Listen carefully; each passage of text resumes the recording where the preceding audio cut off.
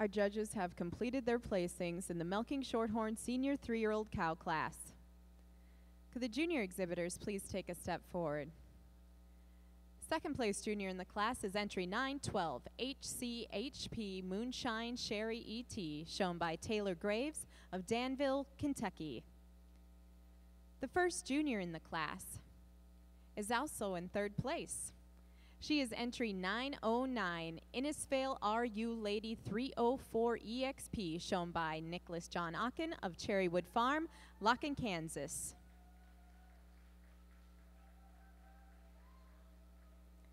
The production award goes to entry 910, My San Heavenly Lollipop, shown by GGOBAH cast of JJC Jersey, Beaver Crossing, Nebraska.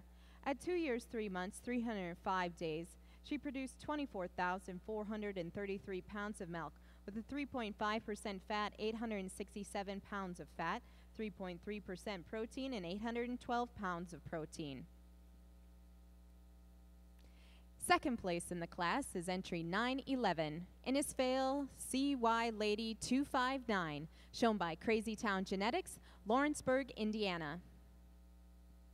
Winning the class, Best Udder and Best Bred and Owned is entry 919, Lazy M Cyclone Dixie, shown by Michael Meyer, Stitzer, Wisconsin. Congratulations to our exhibitors. Judge Top, your comments. Well, another terrific class here in our Milking Shorthorn show. But this three-year-old that comes to the top of the class, she's a cow. You just admire this cow. She's extremely balanced from end to end. You admire the sweep to the rib that she has. You admire the dairiness, the angularity that she has. And she's a cow that's got an incredible mammary system. She's snug in her forward attachment. You love the veining. When you get behind her, you admire the high, wide rear udder attachment that she has. And cow walks out on a tremendous set of feet and legs as well.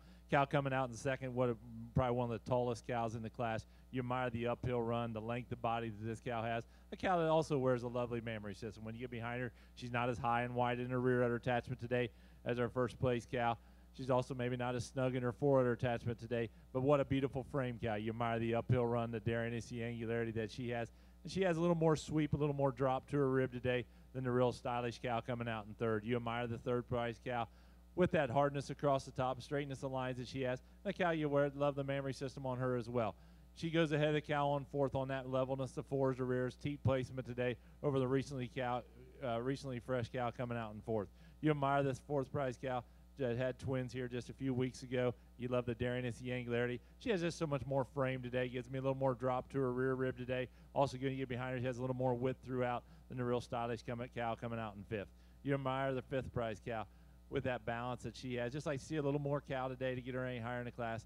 She does it on that mammary system. She's snugger in her attachments today. When you get behind her, she has a little more definition of seam, a little more height and width at the top of the rear today, and a real big balance cow coming out in six.